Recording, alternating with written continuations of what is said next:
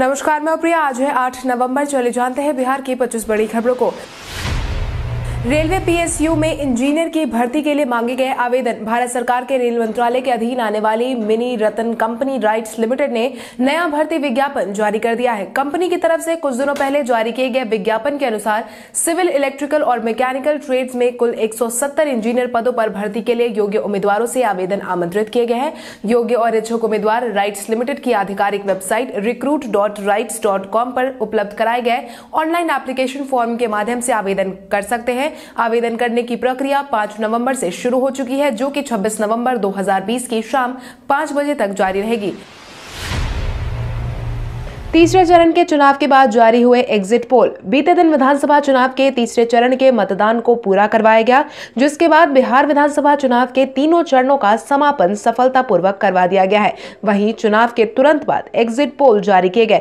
Republic TV जन की बात की जाए तो एग्जिट पोल में महागठबंधन को स्पष्ट बहुमत मिलने का अनुमान लगाते हुए एक सौ अड़तीस सीटें दी गई है। वही एबीपी सी वोटर के सर्वे में महागठबंधन के लिए एक सौ बीस सीटें मिलने का अनुमान लगाया गया है। रिपोर्ट के अनुसार पिछले चुनाव के मुकाबले जदयू का वोट शेयर पाँच फ़ीसदी कम दिख रहा है, जबकि राजद पिछले चुनाव से वोट परसेंटेज के मामले में फ़ायदे में नज़र आ रही है। जिसके बाद एनडीए को 116 यूपीए को 120 वहीं लोजपा को एक और अन्य को छह सीटें मिलने का अनुमान सी वोटर्स ने लगाया है। इसके साथ ही इंडिया टुडे एक्सेस के सर्वे में बिहार के चौवालीस फ़ीसदी लोगों ने तेजस्वी यादव को मुख्यमंत्री पद के लिए अपनी पहली पसंद बताया है।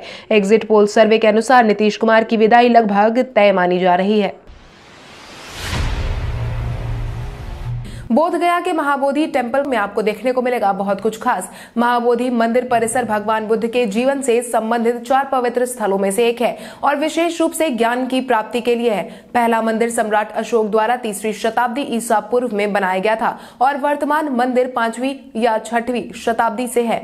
यह सबसे पुराने बौद्ध मंदिरों में से एक है जो पूरी तरह से ईट से बनाया गया था। अभी भी भारत में गुप्तकालीन अवधि से खड़ा है। मुख्य मंदिर की दीवार की औसत ऊंचाई ग्यारह मीटर है और इसे भारतीय मंदिर वास्तुकला की शास्त्रीय शैली में बनाया गया है। इसमें पूर्व और उत्तर की ओर से प्रवेश द्वार है और कम तहखाने हैं, जिसमें हनीस्कल और गीज डिज़ाइन के साथ सजावट की गई है। पटना में गंगा घाट पर ही होगा छठ। कोरोना के माहौल में दुर्गा पूजा के आयोजन पर लगी रोक के बाद यह उम्मीद जताई जा रही थी कि शायद अब छठ पूजा पर भी कोरोना का ग्रहण लग सकता है। पटना के प्रमंडलीय आयुक्त के आदेश के बाद अब छठ पूजा के आयोजन का रास्ता पूरी तरीके से साफ़ हो गया है। प्रमंडलीय आयुक्त ने पटना के डीएम और नगर आयुक्त को निर्देश दिया है कि वो छठ महापर्व के आयोजन को लेकर गंगा घाट पर तैयारी अपनी पूरी करे और गंगा घाटों की साफ़ सफ़ाई के साथ साथ वहाँ बैरिकेडिंग और सोशल डिस्टेंसिंग का पूरा पालन किया जाए। बिहार में कोरोना के मिले 800 से ज़्यादा मामले। बिहार में कोरोना प्रभावितों की संख्या में गिरावट देखने को मिली है। स्वास्थ्य विभाग की तरफ़ से बीते दिन के पिछले 24 घंटे में जारी किए गए आंकड़ों के अनुसार कुल मिलाकर 819 लोग पॉजिटिव पाए गए हैं जिसके बाद प्रभावितों की संख्या बढ़कर दो लाख इक्कीस हज़ार आठ सौ ग्यारह पर पहुँच गई है। वहीं प्रभावित जिलों की संख्या की बात करें तो अररिया में बाईस, अरवल में पाँच औरंगाबाद में छह, बांका में दस, बेगूसराय में बारह, भागलपुर में सात, भोजपुर में तीन, बक्सर में छह, दरभंगा में तीस, पूर्वी चंपारण में सत्रह, गया में संतावन गोपालगंज में सत्रह, जमुई में नौ, जहानाबाद में बीस, कैमूर में आठ, कटिहार में पाँच, किशनगंज में नौ, लखीसराय में दस, मधेपुरा में चौदह, मधुबनी में बारह, मुंगेर में अठारह, मुजफ्फरपुर में चौबीस, नालंदा में उनचास, नवादा में तेईस, पटना में दो सौ बासठ, पूर्णिया में सत्रह, रोहतास में आठ, सहरसा में चौतीस, समस्तीपुर में नौ, सारण में बारह, शेखपुरा में सत्रह, शिवहर में सात, सीतामढ़ी में पंद्रह, सिवान में ग्यारह, सुपौल में छह, वैशाली में दस, पश्चिम चंपारण में तेरह मामले सामने आ चुके हैं। वहीं बिहार में अब तक सक्रिय मामलों की संख्या छह हज़ार सात सौ तिरसठ पर पहुँच गई है। वहीं ग्यारह सौ छत्तीस लोगों की जान जा चुकी है। दरभंगा एयरपोर्ट से आज भरी जाएगी पहली उड़ान। दरभंगा एयरपोर्ट का विद्यापति टर्मिनल अब बनकर तैयार हो चुका है। वहीं आज से यहाँ से विमानों का परिचालन भी शुरू हो जाएगा, जिसके परिणाम स्वरूप आज से दिल्ली, मुंबई और बेंगलुरु के लिए हवाई सेवा की शुरुआत हो जाएगी। पाँच नवंबर को उड़ान को लेकर दरभंगा एयरपोर्ट में Air Force airport authority of India और जिला प्रशासन के अधिकारियों की एक अहम बैठक करवाई गई, जिसमें तमाम तरह के बिंदुओं पर चर्चा की गई है। आपको बता दें, यात्रियों के सामानों को हवाई जहाज़ पर चढ़ाने के लिए और उपयुक्त होने वाले उप उपकरण को विमान में पहुँचाने से एक दिन पहले ही दरभंगा पहुँचा दिया गया था। अब हर दिन चलाई जाएगी Ranchi Patna special train. Railway ने रांची पटना के बीच हर दिन ट्रेन चलाने का ऐलान किया है। जो लोग त्योहारों के सीज़न में अपने घर आना चाहते हैं तो ऑनलाइन माध्यम से टिकट बुकिंग करवा सकते हैं और यात्रा का आनंद ले सकते हैं। मिली जानकारी के अनुसार रेलवे ने अपना बयान जारी करते हुए कहा है कि ट्रेन संख्या शून्य, दो, तीन, छह, चार, रांची पटना स्पेशल ट्रेन दस से तीस नवंबर तक हर दिन चलाई जाएगी। आपको बता दें, यह ट्रेन रांची से दोपहर दो बजकर पच्चीस मिनट पर खुलेगी, जिसके बाद यह ट्रेन मुरी, बोकारो, गोमो, कोडरमा, गया स्टेशन पर रुकेगी। भारत के इतिहास में आज की तारीख कई कारणों से है दर्ज। भारत के इतिहास में आज की तारीख कई कारणों से दर्ज है, जिसकी शुरुआत साल 1661 में हुई। सिख धर्मगुरु हर रॉय ने आज ही के दिन साल 1661 में दुनिया को अलविदा कह दिया था। राहुल द्रविड़ और सचिन तेंदुलकर ने 1999 में एक दिवसीय क्रिकेट मैच में 331 रन की साझेदारी कर विश्व कीर्तिमान आज ही के दिन स्थापित किया। भारत का पहला मानव रहित अंतरिक्ष मिशन चंद्रयान एक 2008 में चंद्रमा की कक्षा में पहुँचा। भारत सरकार ने 2016 में बड़े नोटों को विमुद्रीकरण किया, जिसमें 500 और एक हज़ार के नोट का अवैध घोषित किया गया था। इसके साथ ही भारत की प्रसिद्ध कथक नृत्यांगना सितारा देवी का जन्म आज ही के दिन दिन साल 1920 में हुआ। भाजपा के वरिष्ठ नेता और पूर्व प्रधानमंत्री लालकृष्ण आडवाणी का जन्म भी आज ही के दिन साल उन्नीस में हुआ था। इंजीनियरिंग छात्रों को एनआईटी पटना के छात्र बांट रहे हैं किताब। एनआईटी पटना के स्टूडेंट का एक समूह इंजीनियरिंग के छात्रों की मदद करने के लिए आगे आया है। किताबों से वंचित छात्रों की मदद के लिए एनआईटी पटना के छात्रों ने एक फेसबुक पेज बनाया है। इस कैंपेन के माध्यम से सीनियर बीटेक की किताबें लेकर वो जूनियर में बांटते हैं। आमतौर पर ऐसी मोटी महँगी किताबें यूँ ही कबाड़ी वालों को बेच दी जाती थी। मगर अब ऐसी ज़रूरत छात्रों के काम आ रही है। इस कैंपेन से जुड़े सदस्य निरंजन कुमार ने बताया है कि इससे उन छात्रों को फ़ायदा मिलेगा जो महँगी किताबें नहीं खरीद पाते हैं और कई बार अभाव के कारण ही उनकी पढ़ाई प्रभावित हो जाती है। विष्णुपद मंदिर में बीते दिन दिखी अनोखी शादी। गया ज़िले की दृष्टि बाधित पिंकी और महाराष्ट्र नागपुर के गोपाल ने विष्णुपद मंदिर में शादी की। विष्णुपद मंदिर में इन दोनों की शादी वैदिक मंत्रोच्चार के साथ करवाई गई। इसके साथ ही इनकी शादी के बाद ब्राह्मणों ने शादी के मंडप में गणेश आवाहन, पंचदेवता आवाहन के साथ नए दंपत्ति को आशीर्वाद दिया। आपको बता दें, इस शादी की सबसे बड़ी खासियत यही रही की पिंकी का दूल्हा गोपाल सात जन्म तक साथ निभाने का वादा करने के लिए गया से 1200 किलोमीटर दूर महाराष्ट्र नागपुर से चलकर पहुँचा था। शादी के समय दोनों ही दिव्यांग काफ़ी प्रसन्न नज़र आए।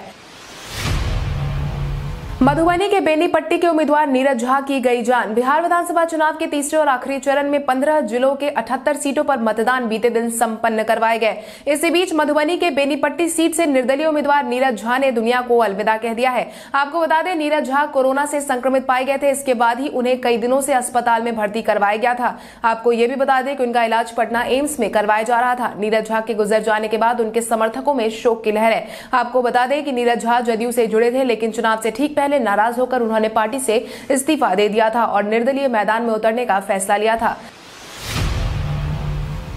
शादी समारोह की तरह सजा कई आदर्श मतदान केंद्र। बिहार में आखिरी चरण के तहत बीते दिन मतदान की प्रक्रिया पूरी करवा दी गई है। वहीं किशनगंज में चुनाव के दौरान मतदाताओं को लुभाने के लिए कई जिलों में आदर्श बूथ को शादी समारोह की तरह सजाया गया था। आलम तो ऐसा था कि अगर इन आदर्श मतदान केंद्रों के बाहर ये ना लिखा जाए कि यहाँ मतदान करवाए जा रहे हैं तो कोई भी धोखा खा जाए। इतना ही नहीं, कई बूथों पर तो खेलने कूदने की व्यवस्था भी की गई थी। इस तरह के मतदान केंद्रों से आम नागरिक काफ़ी ज़्यादा खुश और संतुष्ट नज़र आए। प्रधानमंत्री कृषि सिंचाई योजना के तहत किसानों को उपकरण पर मिलेगी सब्सिडी। कृषि क्षेत्र को मज़बूत करने के लिए सरकार हर संभव कोशिश करती आई है। वहीं सरकार ने किसानों को उपकरण के लिए साथ ही सिंचाई की पूरी व्यवस्था देने के लिए प्रधानमंत्री कृषि सिंचाई योजना की शुरुआत की है। इस योजना को सरकार ने मानसून पर खेती की निर्भरता को कम करने के लिए और हर खेत तक पानी पहुँचाने के लिए किया है। मानसून की बारिश कम होने से उपज अच्छी तरह नहीं हो पाती, जिसका असर किसानों पर पड़ता है। इस योजना के तहत आपको केंद्र की तरफ़ से पचहत्तर प्रतिशत अनुदान अनुदान मिलेगा, साथ ही राज्य सरकार 25 प्रतिशत खर्च वहन करेगी। इस योजना के लिए सभी किसान P M K S Y dot G O V dot I N पर जाकर रजिस्ट्रेशन करवा सकते हैं। पुष्पम प्रिया चौधरी ने तेजस्वी और चिराग को बकैती नहीं करने की दी नसीहत। बिहार विधानसभा चुनाव में पहली बार मैदान में उतरी पुष्पम प्रिया चौधरी ने तीसरे और आखिरी चरण के मतदान के बाद तेजस्वी और चिराग पर जमकर निशाना साधा, जिसके तहत उन्होंने कहा कि राजद नेता तेजस्वी यादव और लोजपा नेता चिराग पासवान को अपना राजनीतिक करियर जमीनी स्तर से शुरू करने की ज़रूरत है। सिर्फ़ बकैती करने से बिहार में कुछ भी नहीं बदलने वाला है। इतना ही नहीं, मीडिया हाउस से बातचीत के दौरान पुष्पम प्रिया चौधरी ने यह दावा किया है कि उनकी पार्टी को जीत मिल रही है। बिहार को बदलने की पुरजोर कोशिश रहेगी हमारी। हर वर्ग और समुदाय का हमें भरपूर समर्थन मिल रहा है। राजद उम्मीदवार के खिलाफ मामला हुआ दर्ज। भले ही बीते दिन चुनाव खत्म हो गए हैं, मगर कई उम्मीदवारों की परेशानी बढ़ गई है। इसी क्रम में जोकीहाट से उम्मीदवार सरफराज की मुश्किलें बढ़ने वाली है। जानकारों की माने तो सरफराज बीते दिन लोकतंत्र के महापर्व का हिस्सा बनने पहुँचे थे। हालाँकि बूथ पहुँचते ही उनके खिलाफ मामला दर्ज करवा दिया गया। मिली जानकारी के अनुसार राजद उम्मीदवार अपने बूथ पर पार्टी का सिंबल लगाकर देखे गए थे, जिसके बाद चुनाव आयोग ने तुरंत ही संज्ञान लेते हुए राजद उम्मीदवार के खिलाफ मामला दर्ज करने का आदेश जारी किया। आपको बता दें कि साल 2018 में हुए लोकसभा के उपचुनाव में सरफराज आलम चुनाव जीतकर सांसद बने थे।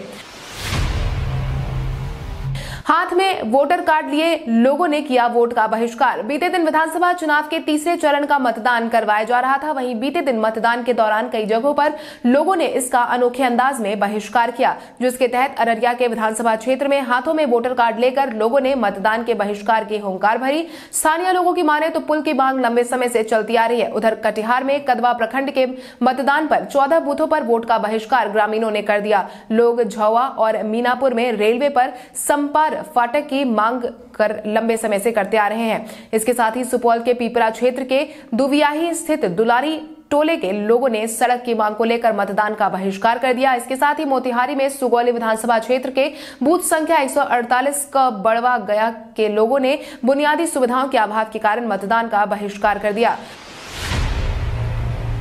महाराष्ट्र सरकार के नेता संजय राउत ने बिहार विधानसभा चुनाव को लेकर की भविष्यवाणी। अपने बयान के लिए संजय राउत चौतरफा घिरते आए हैं। वहीं अब एक बार फिर से संजय राउत के बयान ने चर्चा के बाज़ार गर्म कर दिए हैं। जिसके तहत शिवसेना नेता संजय राउत ने अभी से ही बिहार में एनडीए की हार को तय मान लिया है। अंतिम चरण के चुनाव के दौरान संजय राउत ने बीते दिन फिर से अपना बयान जारी करते हुए साफ़ कहा कि इस चुनाव में एनडीए की हार तय है। जब मुखिया ही अपना अंतिम चुनाव की बात कह चुके हैं तो जनता भी अब उनकी विदाई का मन बना चुकी है। इस बार विधानसभा सीटों के परिणाम आने में हो सकती है देरी। बिहार विधानसभा चुनाव का अंत हो चुका है, वहीं अब बस मतगणना की बारी है, जिसके बाद अब सबको बस 10 नवंबर का इंतज़ार है। उसी दिन यह पता चलेगा कि आखिर किसकी सरकार आएगी और मुख्यमंत्री की कुर्सी पर कौन विराजमान होंगे। हालाँकि कोरोना के कारण यह उम्मीद जताई जा रही है कि इस बार चुनाव परिणाम में देरी हो सकती है। माना जा रहा है कि कोरोना काल में हो रहे चुनाव को लेकर बूथों की संख्या में पैंतालीस फ़ीसदी की बढ़ोतरी के कारण सभी बूथों के वोटों की गिनती में थोड़ा अधिक समय लग सकता है। बताया गया है कि आयोग ने सभी स्ट्रांग रूम की सख्त सुरक्षा की व्यवस्था की है। आयोग के दिशा निर्देश के अनुसार त्रिस्तरीय सुरक्षा व्यवस्था की गई है। वहाँ सीसीटीवी कैमरे लगाए गए हैं। कोई भी उम्मीदवार या दल के प्रतिनिधि इसे देख सकते हैं। हज यात्रा के लिए ऑनलाइन आवेदन की प्रक्रिया हुई शुरू। हज यात्रा जाने की इच्छा रखने वालों के लिए खुशखबरी। हज यात्रा जाने के लिए आवेदन की प्रक्रिया शुरू हो गई है, जिसके बाद बीते दिन से इच्छुक यात्री अपनी यात्रा का रजिस्ट्रेशन आसानी से करवा सकते हैं। आपको बता दें, आवेदन करने की अंतिम तारीख दस दिसंबर तय की गई है। वहीं हज यात्रा जाने के इच्छुक यात्री के लिए हज कमेटी की आधिकारिक website Haj committee dot G O V dot I N पर फॉर्म का प्रारूप अपलोड कर दिया गया है। गौर करने की बात यह है कि कोरोना के कारण पहले इस यात्रा को निरस्त कर दिया गया था, लेकिन साल 2021 की यात्रा के लिए ऑनलाइन आवेदन की प्रक्रिया बीते दिन से शुरू हो गई। हालाँकि यात्रियों को कोरोना की गाइडलाइन का पालन करना होगा।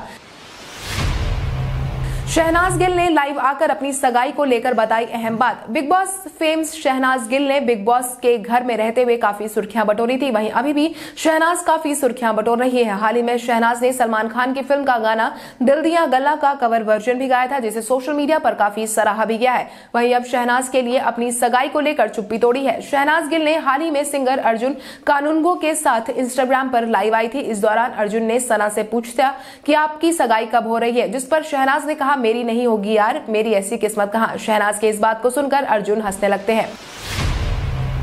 रोहित शर्मा पर भड़के भारत के पूर्व कप्तान दिलीप वेंगसरकर। भारत के पूर्व कप्तान और चीफ सेलेक्टर रह चुके दिलीप वेंगसरकर ने रोहित शर्मा पर नाराज़गी व्यक्त की है। सनराइजर हैदराबाद के खिलाफ मैदान में उतरे रोहित शर्मा को देखकर वो उन पर खूब बरसे। रोहित हैमस्ट्रिंग की समस्या से जूझ रहे थे, जिसके चलते उनको ऑस्ट्रेलियाई दौरे के लिए टीम इंडिया में शामिल नहीं किया गया था। रोहित मुंबई इंडियन की टीम में तीन मैच के बाद लौटे थे और उन्होंने मैच खत्म होने के बाद कहा था कि वो पूरी तरह से फिट है, जिस पर दिलीप वेंगसरकर ने मीडिया से बातचीत करते हुए कहा कि यह दिलचस्प है कि रोहित शर्मा जो कि टीम इंडिया के सबसे बेहतरीन बल्लेबाज है, जिनको कुछ दिनों पहले ही टीम इंडिया के फिजियो द्वारा ऑस्ट्रेलियाई दौरे के लिए अनफिट घोषित किया गया है, जिसके चलते उनको टीम में शामिल नहीं किया गया है। वो आईपीएल में मुंबई इंडियंस के लिए खेल रहे हैं और कप्तानी कर रहे हैं। ऐसे में सवाल ये उठता है कि क्या उनके लिए देश से ज़्यादा ज़रूरी आईपीएल है? बिहार विधानसभा चुनाव के तीसरे चरण में पड़े कुल मिलाकर संतावन दशमलव नौ एक प्रतिशत वोट। बिहार विधानसभा चुनाव में तीसरे चरण का मतदान बीते दिन करवा दिया गया है, जिसमें पंद्रह जिलों के अठहत्तर विधानसभा क्षेत्रों में एक हज़ार चौरानवे प्रत्याशियों की किस्मत का फैसला लिया गया है, जिसके बाद पश्चिम चंपारण में छप्पन दशमलव शून्य दो प्रतिशत, पूर्वी चंपारण में संतावन दशमलव एक छह प्रतिशत, सीतामढ़ी में पचपन दशमलव आठ चार प्रतिशत, मधेपुरा में छप्पन दशमलव तीन छः प्रतिशत, सुपौल में इकसठ दशमलव एक नौ प्रतिशत, अररिया में चौवन दशमलव पाँच आठ प्रतिशत, किशनगंज में बासठ दशमलव पाँच पाँच प्रतिशत, पूर्णिया में उनसठ दशमलव दो पाँच प्रतिशत, कटिहार में कुल मिलाकर इकसठ दशमलव पाँच सात प्रतिशत वोट पड़े। इसके साथ ही मधेपुरा में उनसठ प्रतिशत, सहरसा में साठ दशमलव दो शून्य प्रतिशत, दरभंगा में चौवन दशमलव नौ एक प्रतिशत, मुजफ्फरपुर में संतावन दशमलव पाँच सात सात प्रतिशत, वैशाली में बावन वैशाली में बावन दशमलव छह आठ प्रतिशत, समस्तीपुर में अंठावन दशमलव एक पाँच प्रतिशत वोट पड़े हैं। पेटीएम एसबीआई क्रेडिट कार्ड हुआ लॉन्च। कुछ दिनों पहले पेटीएम ने क्रेडिट कार्ड लॉन्च करने की घोषणा कर दी थी, जिसके बाद अब पेटीएम ने एसबीआई कार्ड के साथ मिलकर contactless Paytm SBI credit card launch कर दिया है। क्रेडिट कार्ड पर अलग अलग फ़ायदे भी यूज़र को दिए जा रहे हैं। आपको बता दें, कंपनी में दो वेरिएंट है जिसमें क्रेडिट कार्ड लॉन्च किए गए हैं, जिसके तहत पहला पेटीएम एसबीआई और दूसरा पेटीएम एसबीआई कार्ड सेलेक्टिव दोनों ही वीज़ा कार्ड होंगे। आप पेटीएम के ऐप से इन्हें पूरी तरीके से मैनेज कर सकते हैं। आपको बता दें कि पेटीएम एसबीआई कार्ड सेलेक्ट लेने पर आपको पेटीएम फ़र्स्ट की फ्री मेंबरशिप मिलेगी और सात रुपए का कैशबैक भी साथ में मिलेगा। इसके अलावा दूसरे बेनिफिट्स की बात करें तो आपको पेटीएम पर movie tickets Paytm mall shopping और टिकट ट्रैवल पर पाँच प्रतिशत कैशबैक भी मिलेगा। अब आइए जानते हैं सराफा बाज़ार और पेट्रोल डीजल के क्या थे भाव। अगर हम सराफा बाज़ार की बात करें तो सोने का भाव 7 नवंबर को 22 कैरेट के लिए प्रति 10 ग्राम पचास हज़ार आठ सौ दस रुपए था। वहीं 24 कैरेट के लिए प्रति 10 ग्राम इक्यावन हज़ार आठ सौ दस रुपए था। वहीं अगर हम चांदी की बात करें तो चांदी का भाव प्रति किलो पैंसठ हज़ार चार सौ रुपए था। इसके अलावा राजधानी पटना में पेट्रोल की कीमत तिरासी दशमलव आठ दो रुपए प्रति लीटर थी। वहीं डीजल छिहत्तर दशमलव एक नौ रुपए प्रति लीटर था। कल हमारे द्वारा पूछे गए सवाल का जवाब आप में से बहुत सारे यूज़र ने हमें कमेंट करके दिया था। उसके लिए आपका बहुत बहुत धन्यवाद। आप में से जिन यूज़र का कमेंट हमें अच्छा लगा है, उनके नाम है शिवशंकर कुमार, जय Jitendra Vicky Kumar, Omkar Singh, Rinki Nirali, Brajesh Tiwari Yo Yo ji, Sonu Kumar SGS entertainment Bambam Kumar, Sonu Yadav, Surya Singh, Dilkhush Kumar Yadav ji, Sujeet Kumar, Amresh Chaudhary, Rajendra Prasad Singh, Vinod Kumar Mandal, Mohammad Shahzad Akeel. इसके अलावा हमारी team को और भी लोगों के जवाब अच्छे लगे हैं। मगर समय के अभाव के कारण हम उनका नाम नहीं ले पाए, लेकिन आप हमारे सवालों का जवाब देते रहे। हम कल आपका नाम लेने की पूरी कोशिश करेंगे। तो चलिए बढ़ते आज के सवाल की और आज का सवाल कुछ इस प्रकार है। आपके अनुसार तीनों चरणों के मतदान की प्रक्रिया खत्म होने के बाद किसका पलड़ा बिहार विधानसभा चुनाव में ज़्यादा भारी लग रहा है? अपने जवाब हमें कमेंट करके ज़रूर बताएँ। इसके साथ ही आज के लिए बस इतना ही। अगर आप ये वीडियो हमारा यूट्यूब पर देख रहे हैं तो हमारे चैनल को सब्सक्राइब करें और बेलाइकॉन दबाना ना भूलें। और अगर आप ये वीडियो हमारा फेसबुक पर देख रहे हैं तो इस वीडियो को लाइक करें और ज़्यादा से ज़्यादा शेयर करें। धन्यवाद।